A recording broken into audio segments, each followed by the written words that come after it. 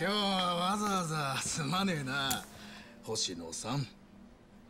馬頭探偵事務所の千田だ。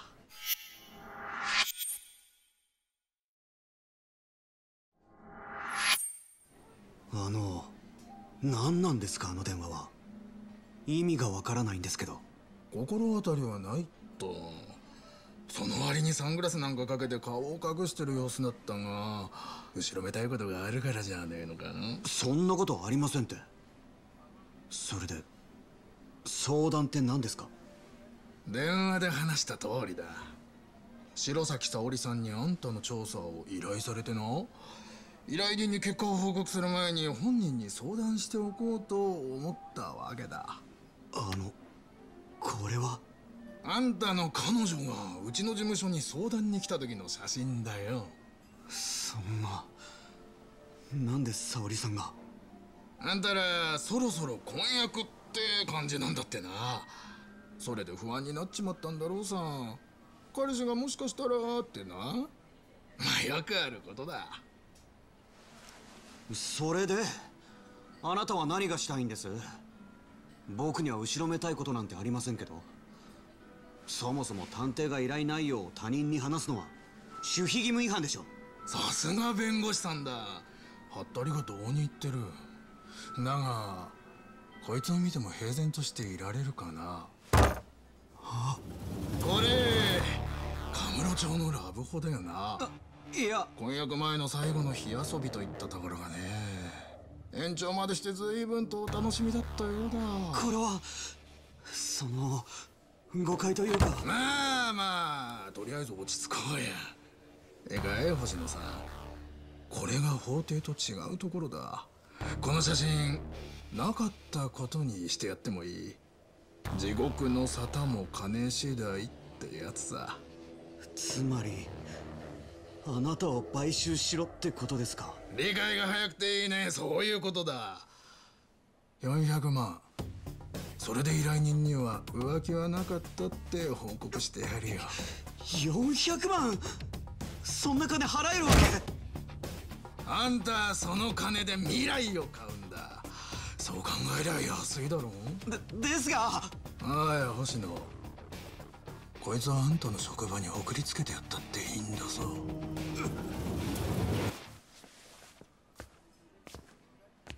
依頼料もらった上にターゲット脅迫して400万ね。いやー悪徳探偵ってのは随分と儲かるみてえだな。んだお前。あお前元松金組の。今はあんたと同業だ。元馬頭組若頭補佐千田四郎さんよ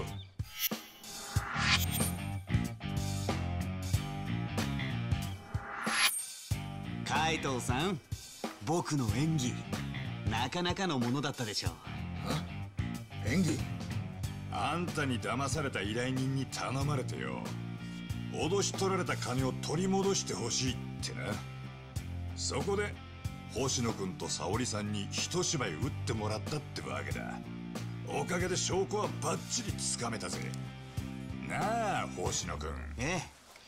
証拠は全てここに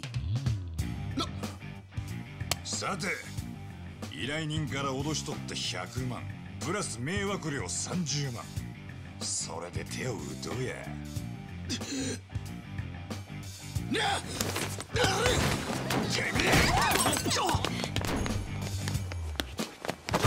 待ちやがれ。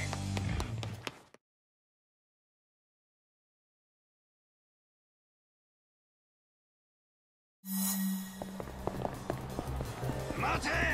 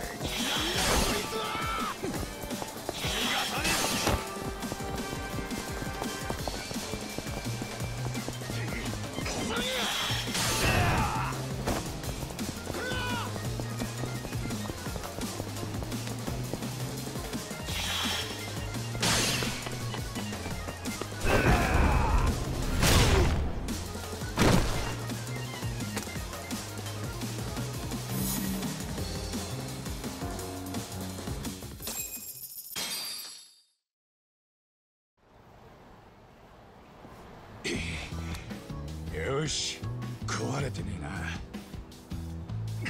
くそえななあ千田さんお前んとこの事務所カムロ町だったよな一緒に向かおうか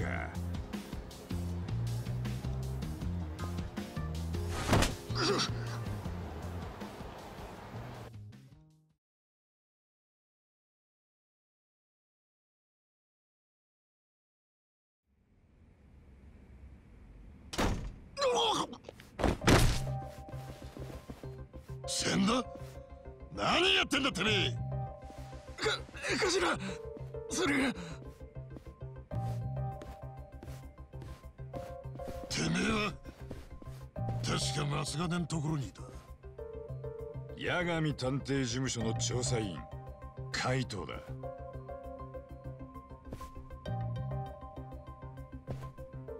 お前ら工夫がねえな。仇のオフィスに見えねえぞ。これじゃお客が怖がるだろう。ちに依頼に来た。って感じでもねえな。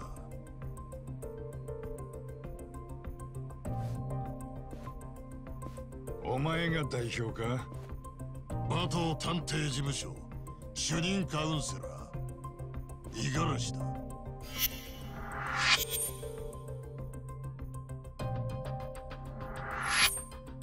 馬頭組確か東上会の調査部門を名乗ってる連中だったな。薩の家族構成や弱みを掴んで脅しや牽制に使う。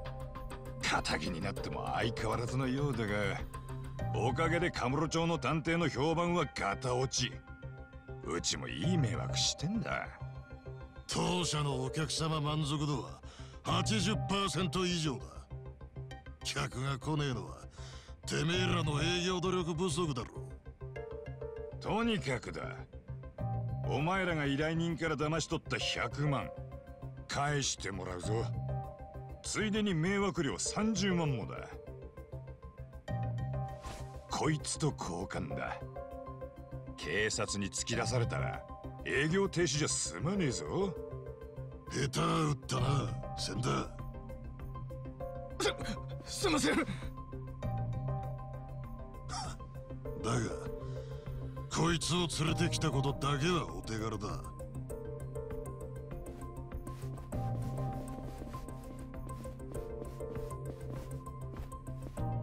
こりゃ迷惑料50万はもらわねえとな。おいお前ら。遠慮はいらねえ。このバカをぶっ殺せ。ぶっ飛ばしてやるよ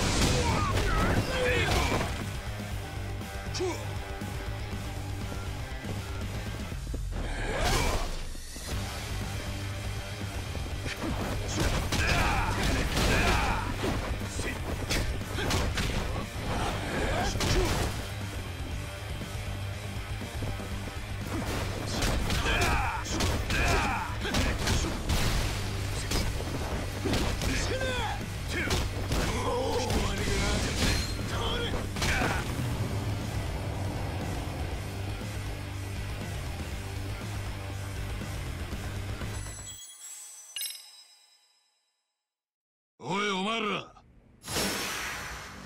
やらせてもらうぜ。お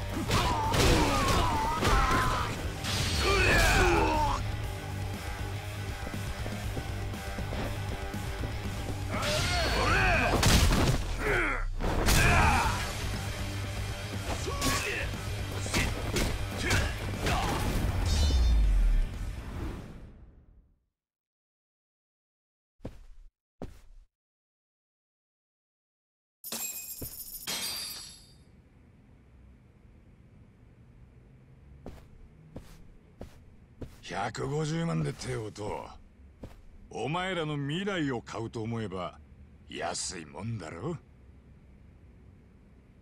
カイトこの借りは返す。必ずな。楽しみにしてるぜ。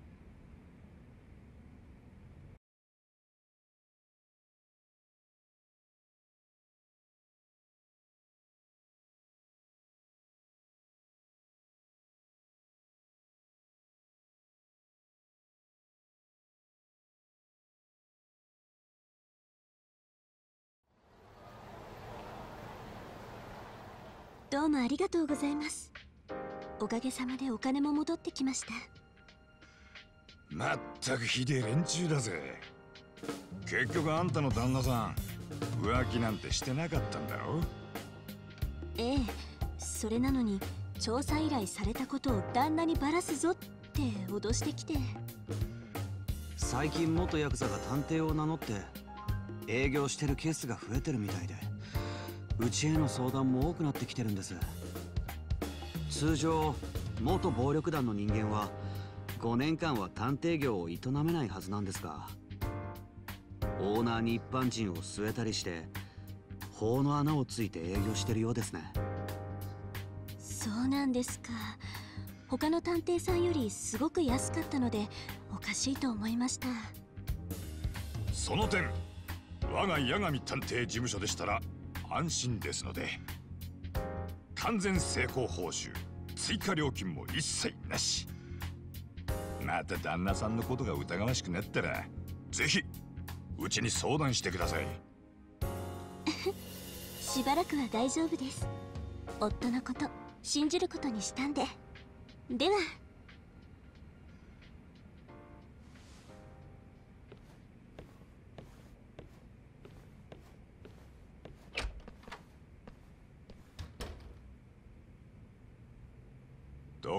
星野君沙織さんとは実際のところどうなんだ？僕としては尽くしているつもりなんですけどね。時々僕たち本当に付き合ってるのかなって心配になることも。もう付き合って3年ぐらいだよな。結婚とか考えてねえのか？もちろん僕は真剣に考えてますよ。あでも沙織さんはどうなのかな？うーん。おいおいそんなんだと沙織さんを逃がしちまうぞ。男ならガツンといかねえと。そうですよね。よーし今年こそは。おう応援してるぜ。それじゃあ僕は事務所で仕事が残ってるので失礼しますね。